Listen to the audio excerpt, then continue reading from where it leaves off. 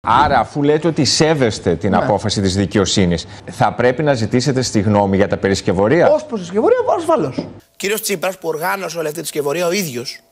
Και αν θέλετε να σας εξηγήσω γιατί το πιστεύω, μπορώ πολύ Έχετε ευχαριστώ. στοιχεία για αυτό που λέτε; Βεβαίως. Θα πρέπει, Αποσύρονται. Αφού απεφάνεται τη δικαιοσύνη. Αποσύρονται. θα πρέπει να ζητηθεί συγγνώμη και για τους δημοσιογράφους για τους οποίους Για είχαν, οποιονδήποτε είχαν ακουστεί βαριές κατηγορήθηκε για κατηγορίες σκευωρία, στη Βουλή. Από την ώρα που αμετάκλητα και τελεσίδικα ελληνική δικαιοσύνη έκρινε, για μένα έχει τελειώσει. Είναι αθώη. Θα τους λιώσω. Γιώργο, αυτιά θα τους λιώσω. Θα τους ζητήσετε συγγνώμη; Δεν κάνετε συγγνώμη, αποσύρονται όλα. Άρα δεν υπάρχει σκευωρία για τα 10 Έληξε. πολιτικά πρόσωπα, ούτε για τους δημοσιογράφους. Έληξε. Έληξε. Καταλαβαίνουμε. Αφού στο Κύριε Πανελλήνιο Γεωργιάδη. την τιμιότητά μου. Θα Αυτό- τους δω. Δεν θα μου γλιτώσει το ένα από αυτούς ο Τσίπρας πρώτος από όλους. Τελείωσε η θεωρία περί σκευωρία Νοβάρτη. Το έκανε η δικαιοσύνη. Τελεία. Μάλιστα.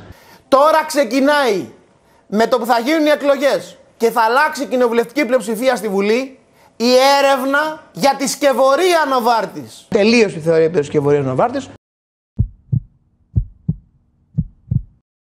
Μέχρι να πεθάνω δεν πρόκειται να κάνω πίσω από το να τιμωρήσω αυτού που έκανα αυτή τη σκευωρία.